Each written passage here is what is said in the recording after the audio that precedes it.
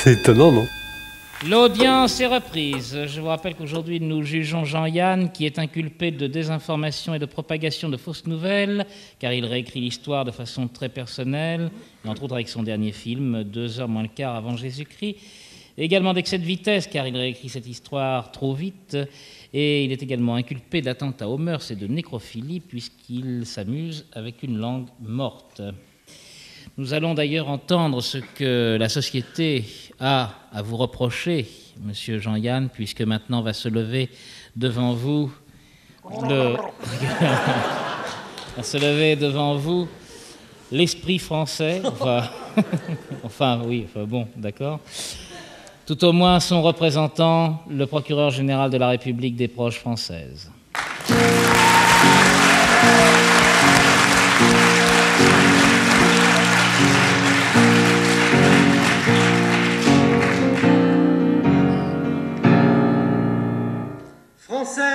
Français, Belge, Belge, Monsieur le Président, mon chien, mon cher Massif Central, invraisemblable raclure du barreau de mes deux chaises, Couchez, procu Couchez Mesdames et Messieurs les jurés de carnaval, public chéri, mon amour.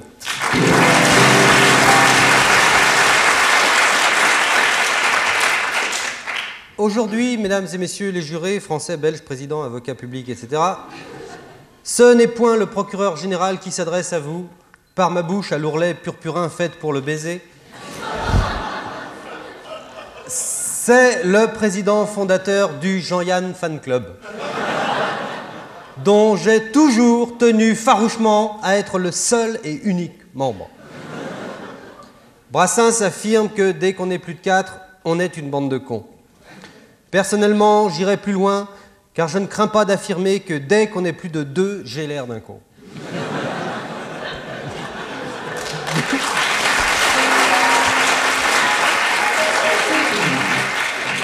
D'où un besoin quasi irrépressible de solitude et une crainte presque hystérique de voir quiconque oser partager mes goûts ou mes idées en vertu d'un second adage du susnommé Brassens qui dit qu'il vaut mieux se tromper tout seul qu'avoir raison avec les autres. Eh oui, c'est Julio Iglesias qui n'est pas mort. Brassens, il est mort. J'ai découvert l'existence de ce monstre velu suintant de crapulerie rablaisienne il y a bientôt 20 ans. Ça vous rajeunit pas, les mecs. À cette... Ah, vous parlez pas de moi, c'est moi qui parle de vous. À cette époque bénie où je finissais de gâcher mes études en crapahutant frénétiquement sur de nombreux sommiers dont j'ai oublié le nom aujourd'hui, un vent d'impertinence poivrée commençait à balayer des antennes la verve chansonnière un rien franchouillarde des greniers Montmartre 3. Déjà Claude Villers perçait sous Jean Noin.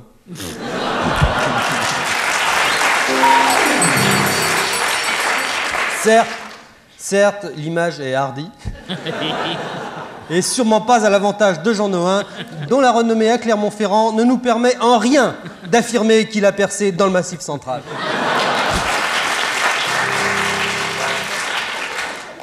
La Cour aura évidemment compris qu'en utilisant cet alexandrin parfait, je ne voulais que parodier bien innocemment le père Hugo, qui n'en a d'ailleurs plus rien à secouer, depuis que les asticots du Panthéon l'ont quitté pour aller finir Jean Moulin.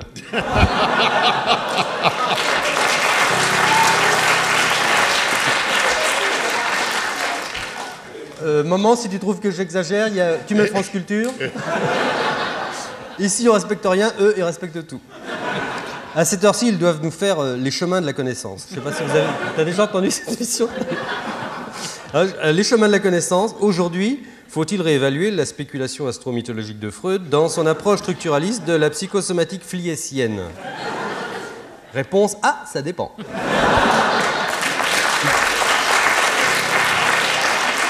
Vous ricanez, bande d'incultes. Je parie que vous n'avez même pas conscience de l'immense apport à la psychanalyse que fut la psychosomatique fliessienne. Ni même qui était. je- vous savez même pas qui était Wilhelm Fliess. Oh Minable Comment peut-on savoir qui est Louis Rego et ne pas savoir qui fut Wilhelm machin? Fliess Enfin, vous avez de la chance, j'ai sous les yeux le texte d'une récente émission de France Culture consacrée à Wilhelm Flies.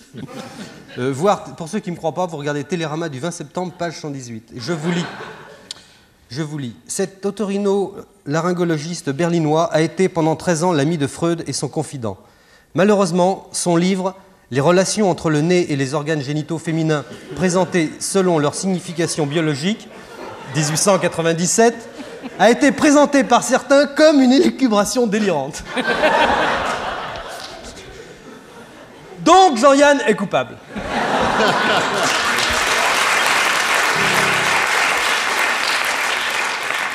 Car Jean-Yann, de son vrai nom, ça ne vous regarde pas, mesdames et messieurs les jurés, Jean-Yann est le seul et unique responsable de mon échec à l'agrégation de mathématiques, à laquelle je me fusse vraisemblablement présenté, n'eût été d'une part l'influence néfaste sur mon jeune esprit ouvert aux choses de la vie de cet immonde poilu des tranchées radiophoniques, et d'autre part mon aversion maladive pour les mathématiques.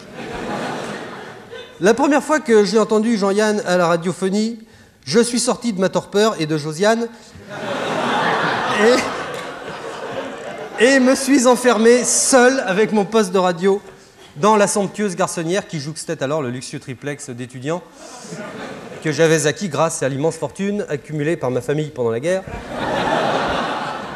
Et là, j'écoutais subjugué la rude voix faubourienne chargée d'iconoclastie salace et d'irrespect fondamental de cet être affreux, anarcho-nihiliste qui singeait Bossuet, raillait les goitreux et fustigeait dans le même panier de hargne des institutions françaises aussi sacrées et aussi respectables que l'Académie française, l'évêché de Meaux et la CGT.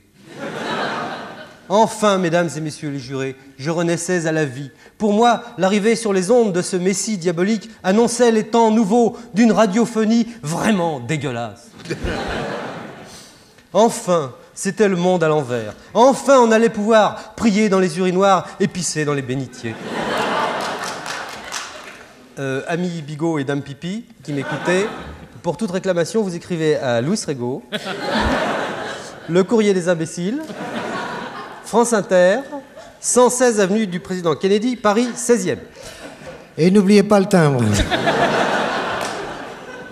Oui, oui, mesdames et messieurs les jurés, en vérité, je vous le dis, Jean-Yann a plus fait pour la promotion du mauvais goût en France que Jaruzelski pour la promotion de Solidarnosc en Pologne. Un jour, je l'ai entendu de mes propres yeux. Il a osé, expliquer à toute une francophonie pétrifiée d'horreur que l'auteur de la flûte enchantée ne s'était pas toujours appelé Wolfgang Amadeus. Étant enfant, il s'appelait en réalité euh, Jean Edern Mozart, comme tout le monde. Et c'est parce qu'il mettait de la boue sur les fauteuils salzbourgeois du salon de sa maman que cette dernière lui avait crié un jour Fulcan ou Medeus Mozart. Faut-il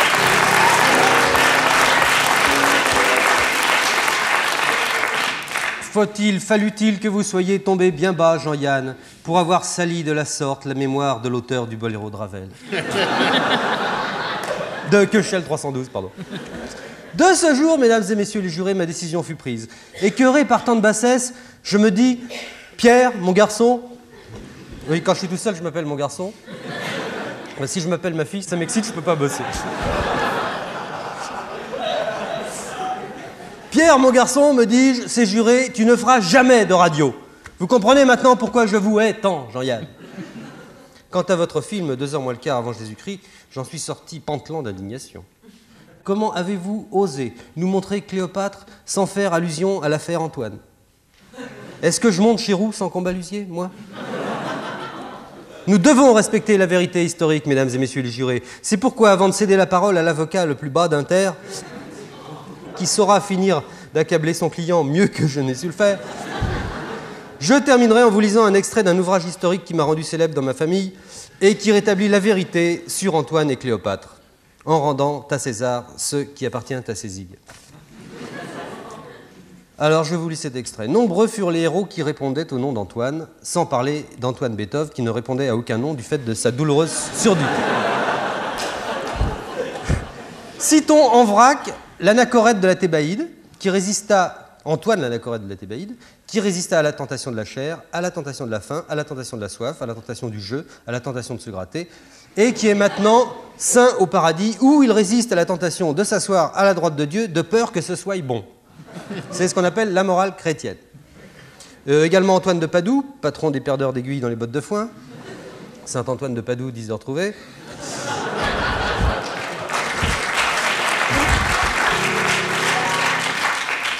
Antoine de Bourbon, père d'Henri IV, ou Antoine Amatla, inventeur du calembour dyslexique.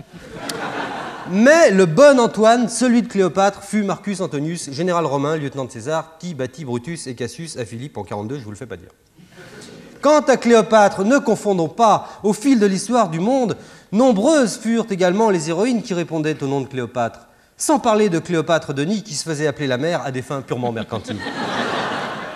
Mais la bonne, la bonne Cléopâtre, celle d'Antoine, fut Cléopâtre VII.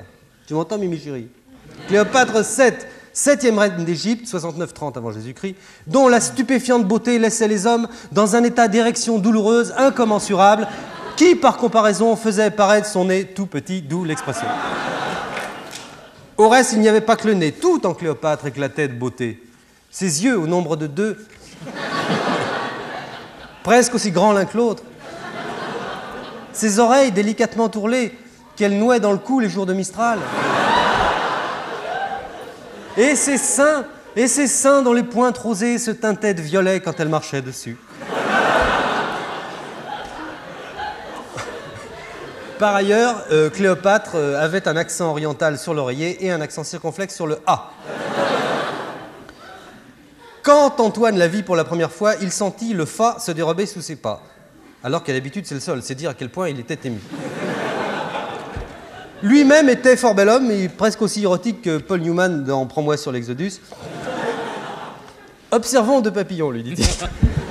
Il se jeta sur elle et ils s'aimèrent violemment jusqu'à la mort d'Antoine à la bataille d'Axiom. Mais vérifiez parce que j'étais tellement bourré hier soir que je ne sais plus si j'ai trouvé l'Axiom dans le dico ou dans l'armoire à pharmacie. Désespérée par la mort brutale de son amant, Cléopâtre se suicida le jour même en se jetant sous le métro pyramide. Et je crois que ça devait être l'armoire à pharmacie finalement.